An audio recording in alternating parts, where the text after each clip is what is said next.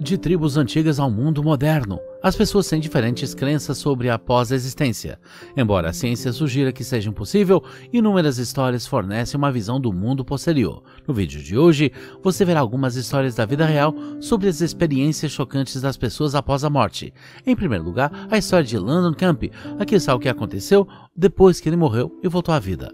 Em uma manhã de domingo de 1997, Landon Camp, de 7 anos, estava voltando da igreja com seus pais, Julie e Andy. Então, uma tragédia aconteceu. Uma ambulância de repente atingiu o carro da família em um cruzamento. O acidente tirou a vida de Andy na hora. Quando a equipe de resgate chegou ao local do acidente, puxaram Julie para fora do carro e começaram a estabilizá-la. No início, ninguém sabia que Landon também estava no carro, então a cada minuto que passava, sua condição piorava. Mas depois de alguns momentos, um salvador encontrou seu sapato. Então perceberam que outra pessoa estava no carro. Entraram em ação imediatamente e, após uma pesquisa, eles o trouxeram para fora. Infelizmente, ele parou de respirar. Os paramédicos começaram as compressões torácicas até ressuscitá-lo. Depois disso, o transportaram de avião para o Centro Médico de Carolina. Em duas outras ocasiões, Landon passou de respirar. A equipe médica teve que realizar mais rodadas de RCP. Landon também sofreu traumatismo craniano e estava em coma. Ninguém sabia se ele abriria os olhos. Durante esses tempos críticos, algo muito misterioso estava acontecendo no mundo interior de London. Com o passar dos dias, a condição de London continuou a piorar e os médicos não tinham certeza se ele sobreviveria. Disseram a Judy se, se o fizesse, sua vida nunca mais seria a mesma. Não seria capaz de comer, falar ou mesmo andar sozinho. Mas nada importava para Julie, só queria que seu filho vivesse. Duas semanas depois, o desejo de Julie foi realizado quando menos esperava. Ele acordou do coma, mas algo confundiu os médicos. O resultado do teste mostrou que ele não sofreu danos cerebrais apesar da gravidade dos ferimentos. Milagres acontecem em seu caso, foi nada menos que um. Sua mãe estava feliz por ter o filho de volta, mas precisava dizer que ele não tinha mais pai. Quando ela finalmente falou que Landon disse a ela, o abalou completamente. Ele disse que sabia que seu pai estava no céu. Disse a Julie que os anjos o levaram para o céu durante os momentos em que ele parou de respirar. Ele disse que viu o amigo do pai, Olan Palmer, e o filho. A dupla morreu há alguns anos. Julie ouviu com atenção, mas o choque veio quando ele contou a ela sobre as crianças que ela abortou. Julie nunca disse a Landon que ela tinha dois filhos antes dele, então ficou muito surpresa. Veja, cada vez que Landon parava de respirar, ele tinha experiências únicas. Na terceira vez que ele parou de respirar, algo aconteceu. Quando ele morreu, ele conheceu Jesus, mas ele voltou e recebeu uma mensagem para o mundo. Mano disse que Jesus disse a ele para voltar à terra e ser um bom cristão e também falar aos outros sobre ele. Desde então, Landon e sua mãe continuam a compartilhar sua história com aqueles que lutam contra sua fé e lutam contra a perda. Uma mulher, Charlotte Holmes, também foi para o céu depois que algo aconteceu. Em setembro de 2019, Dani foi com sua esposa Charlotte, que estava doente, no hospital para seu check-up mas aquele dia marcou o início de uma transformação que ninguém tinha previsto. Durante o exame, a pressão arterial de Charlotte disparou, então teve que ser internada. Três dias depois, quando as enfermeiras estavam colocando em ela uma bata de hospital, algo terrível aconteceu. A doente caiu de repente e parou de respirar. Todas entraram em pânico. Uma enfermeira começou a fazer compressão torácica. Dani, que estava na sala, também não conseguia parar de olhar para os olhos sem vida de sua esposa em descrença. Durante esse período que Charlotte afirma que foi transportada para os portões do céu. Ela disse que no momento em que saiu do seu corpo, um lindo cheiro encheu o ar e as flores a cercaram viu belas colinas, riachos e cachoeiras e ouviu anjos cantando. Mas isso foi apenas o que aconteceu. Depois viu seus falecidos pais e irmã. Eles sorriram e acenaram para ela, mas depois disso, Charlotte percebeu algo estranho. Ela viu um menino que ela não conseguiu reconhecer, mas parecia tão familiar. A deixou confusa. E então, nesse estado de confusão, disse que sentiu Deus respondendo a ela. Então ela percebeu que a criança era o bebê que ela abortou há 40 anos.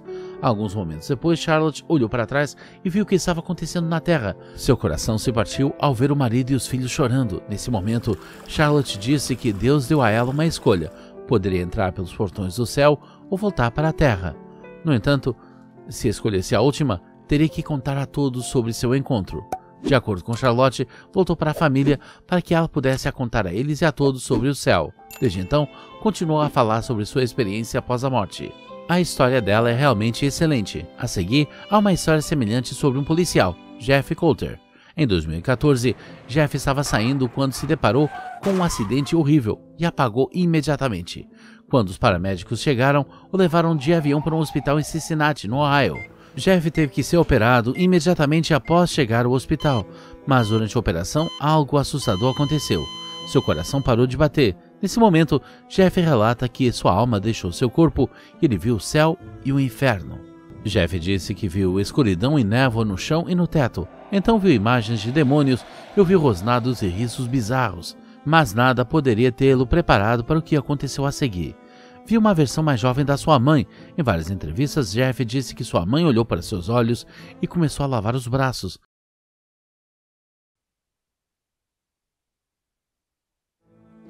Segundo ele, esse ato é a maneira de sua mãe dizer que ele precisava limpar seu ato.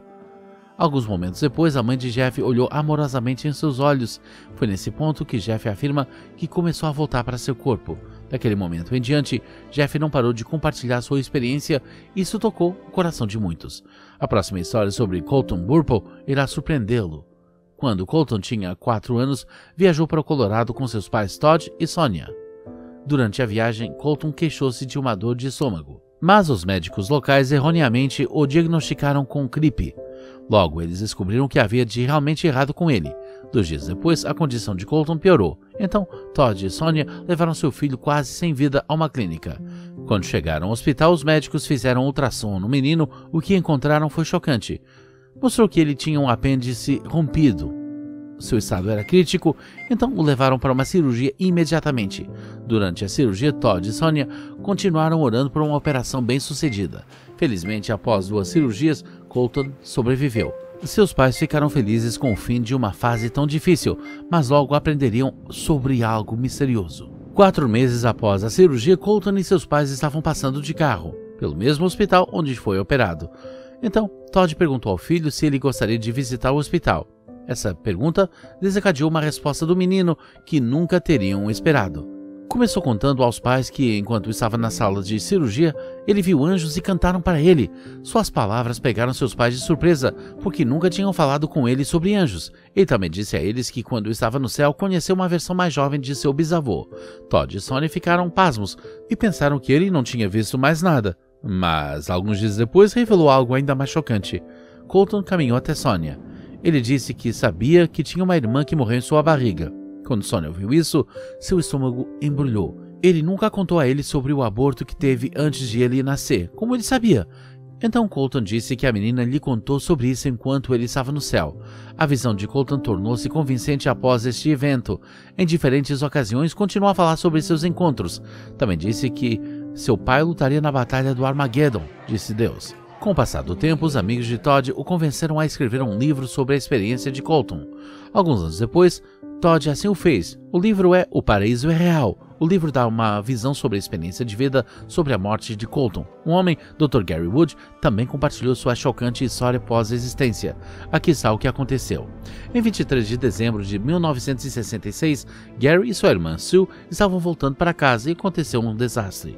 Ele teve um acidente e o que aconteceu a seguir mudou o curso da vida de Gary. Sue quase não sofreu ferimentos, mas a condição de seu irmão era muito crítica. Quando chegaram ao local, os paramédicos o declararam morto, mas algo intrigante aconteceu durante esse período, e quando Gary não estava respirando, ele tem falado dessa experiência na mídia. Aqui está o que aconteceu. Imediatamente a respiração de Gary parou. Disse que se sentiu aliviado de suas dores e de repente se viu diante de alguns portões. Conheceu um anjo de cerca de 21 metros que tinha uma espada e cabelos dourados. Após uma breve conversa, disseram a Gary que poderia ir para a cidade dos céus.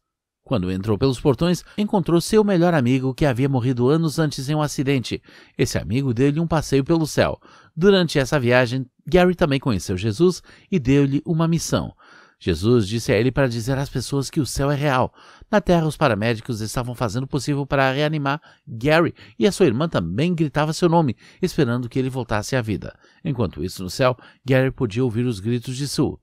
Então, o seu melhor amigo disse a ele que era hora de voltar. Depois, Gary foi transportado de volta para seu corpo. Quando aconteceu, os paramédicos finalmente sentiram o pulso e o levaram para o hospital. Desde então, escreveu vários livros sobre sua experiência e continua a falar sobre ela em diversos programas de TV.